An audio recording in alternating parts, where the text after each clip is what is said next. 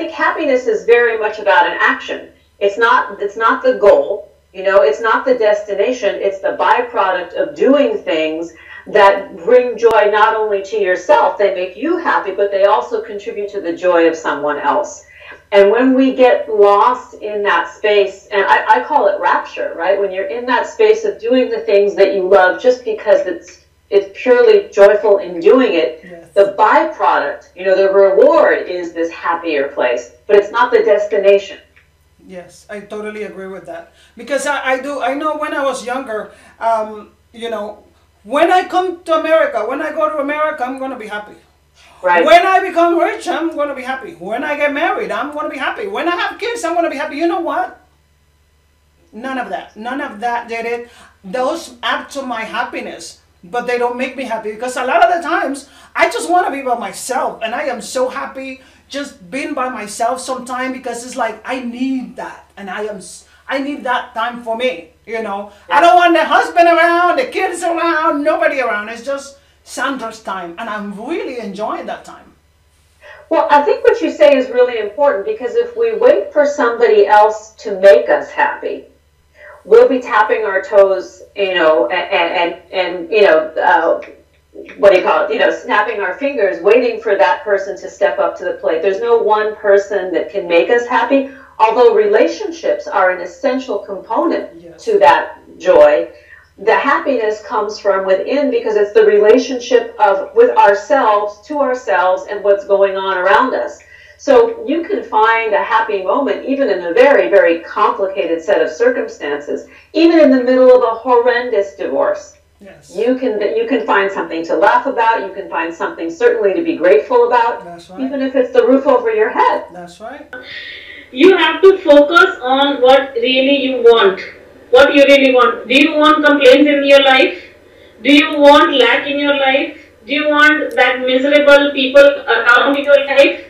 If the answer is no, it's high time to please shift. Shift your emotions right now from uh, negative to positive, from lack to abundance, from hate to love. Love, I said, I told you, is got the highest vibration. Keep loving people, keep sending that loving thoughts. Even if you don't like someone, please uh, try at least you know sending those loving thoughts to them because ultimately what you give is what you are going to get back. Woo! Universal law. Please re- repeat that again with more emphasis. Tell them more about that part. So it's like you know uh, what you are going to give, what you are going to release. You are going ultimately going to get back. If I'm going to give love, I'm going to get back love if you're going to give anger, I'm going to get back anger. That's 100% sure. That's right. That is the theory. Theory. So I, I am completely, you know, my life completely transformed. My, when I switch from my, my emotions pertaining to this sphere of life, whatever I do, it will come back to me. So please, guys, uh, just be aware what you are doing right now, what you are thinking right now. Thought travels, thought have the waves. So whatever you are thinking, it is going to come back to you. I'm a Christian, and my husband is Muslim. He have convictions, mm-hmm. and I have my own convictions. Mm-hmm. But what had helped me, um, I can tell you, not struggle with his conviction is the fact that I have my own, mm-hmm. and I believe what I believe, and I stand on what I believe.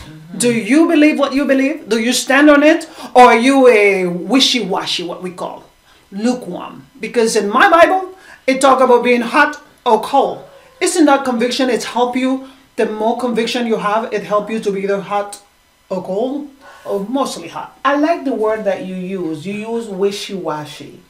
When you are a wishy-washy person, people don't trust you mm-hmm. because you will say yes now and by the time they turn their back you will say exactly. no people don't trust you that exactly. work in work in family you everywhere. know who you are so wishy-washy people are out there but it's only because they have not take time to make up their mind of who they are and what they will not do for themselves that's a good point with children i'm telling you i i I am able to see the diamond and the treasure in every person. If you have a problem, you can have a solution. Amen. So you ask that one person, what is something that is oppressing you? Let's find out. Because see, here's the thing, and I'm going to go back and refer to the Bible. Mm-hmm. Okay? There's a story in the Old Testament where mm-hmm. a woman is about to die. She doesn't have money. She slept with the dead, and her son is about to die. And when the prophet comes to her, he's asking her, "Will you make a piece, uh, uh, a bread for me?" And she says, "This piece of bread is going to feed my son and I, and then we're going to die, because there's nothing else." Right? The man tells her, "Woman, what do you want me to do for you?" But before the woman answers, he says, "Wait, don't answer." Basically, he says, "Don't answer," and he says to her, um, "What do you have at home?" He doesn't let her answer because as women, I know what I would have said. Yes, please bring me, you know, give me money or give me the stuff to pay the debt or, or bring me food for my son. But he didn't let her answer. His first question was, what do you want me to do for you, woman? And then he cuts her off and says, okay, wait a second. What do you have at home? She says, I only have a jar. I have a jar and I have a um, a little bit of, uh, of oil, and I have a little bit of dough, uh, dough to make dough, flour to make dough. And he says, go get what you have, shut your door, and begin to pour the oil into the other vessels. One thing I know for sure is that no matter what situation you're in, the solution comes with what you already have in your hand.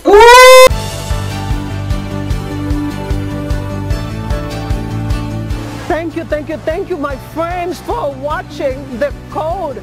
Don't forget that we are here every Thursday at 7 p.m. Central Standard Time. We are bringing you coaches and speakers and classes and experts in different areas in order to help you grow. That's what we are here for. So if you have any comments, questions, or if you are a sponsor, please send us an email to info at envivoassociate.com. Again, info at envivoassociate.com with your host, Sandra Graves, every Thursday at 7 p.m. Central Standard Time. Thank you for watching The Code.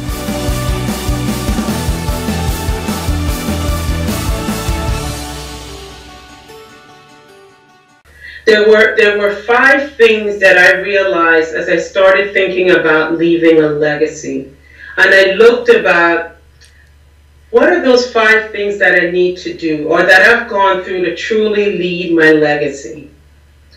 And one of the first step I looked at, I mentioned it before, was who am I? You truly need to understand who you are before you can lead others. Mm-hmm. That's why we have many leaders who lead people down a ditch because they've never found out who they are. Mm-hmm. And it's very important as leaders to do the homework. It is hard work when you're 50 and 40 and 30 to figure out who you are. Right. When you walked around for three and four decades thinking you were somebody else. Mm-hmm. But it's important to do the work, and that's what we do as coaches. We help people do the work, to cry through the pain, but stick it through the narrow road because when you make it to that other side of that narrow road, you're going to find a beautiful butterfly.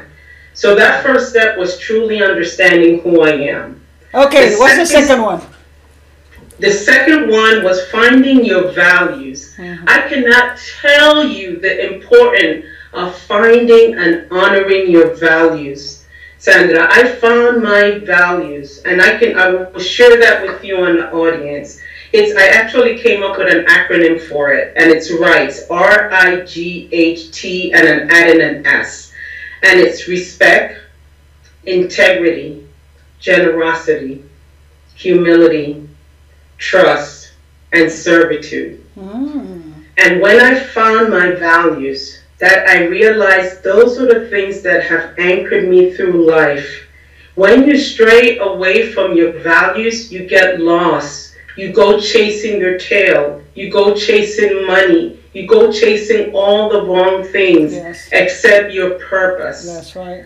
So understanding your values is primal. So I encourage everyone, find what your values are. They could be five. I went to an elementary school and some kids said, I want to tell, say 10 values.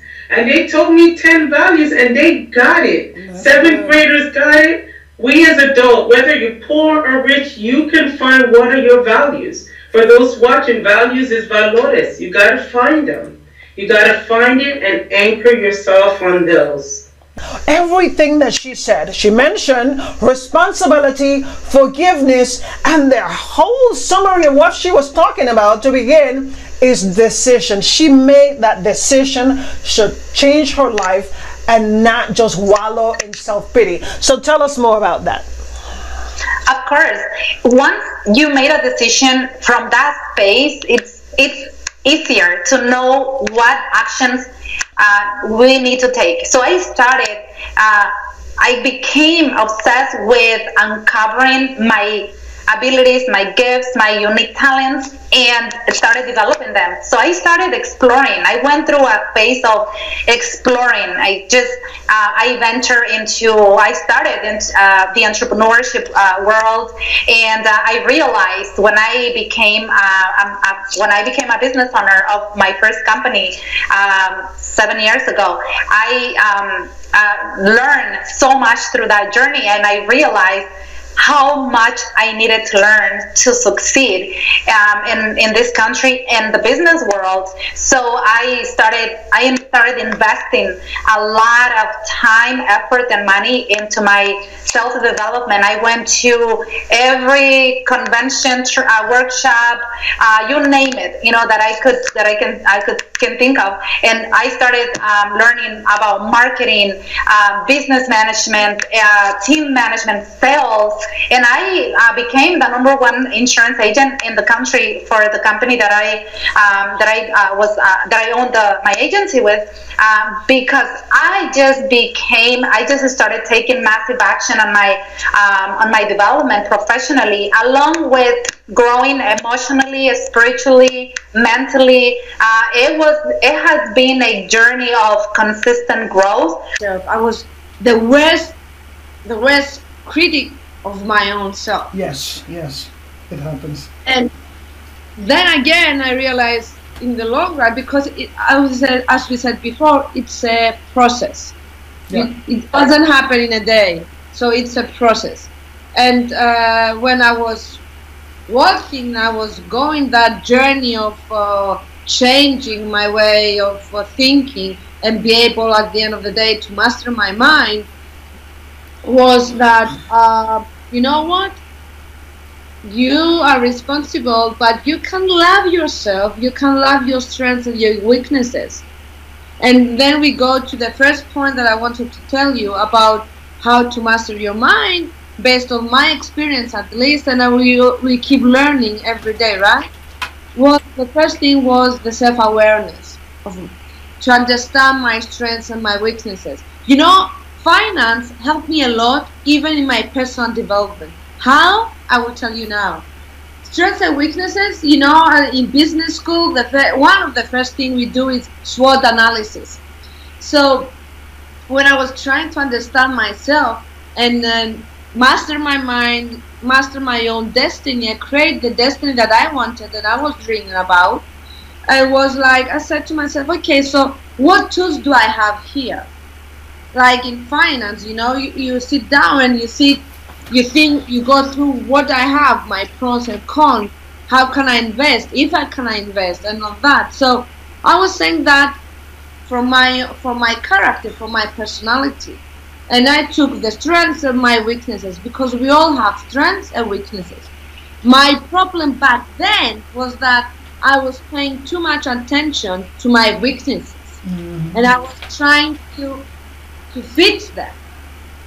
And then I said, but this is not what I'm doing when I'm working. I pay attention more to my strength and how can I invest better and what can I do with my business. So I was seeing myself as my business. Mm-hmm. So I was emphasizing of my strength and I started loving my weaknesses. Yes, I experienced some challenges. Yes, I was sexually abused. Yes, I had a hard life. Yes, I didn't have food sometimes. Yes, I experienced poverty. Yes, I felt like taking my life. I don't know how many times, but you know what? All of that was part of the journey of who I am right now. And that's the reason why I'm able to share this with you now because I have embraced all of that. And yes, I was not the best um, person before, but I have made that decision to be the best that I can right now. And I make that decision every day because I am thankful that I'm still here. I am thankful to have a husband and kids and a life that is mine to live and mine to make a commitment to, mine to one day give responsibility about what I have done with what has been given to me. So I wish you the best in everything that you do. May God bless you. And may you continue to learn how to love yourself and embrace who you are. And remember that if you have any question, please post your questions and I will be very happy to answer them. And I am in my show, um, En Vivo Live. Look for it. If you look for it on YouTube or just go to envivoassociates.com and you can see. If you want to share your journey, you want to share your story, please do that. I would love to hear from you. Thank you for watching The Code.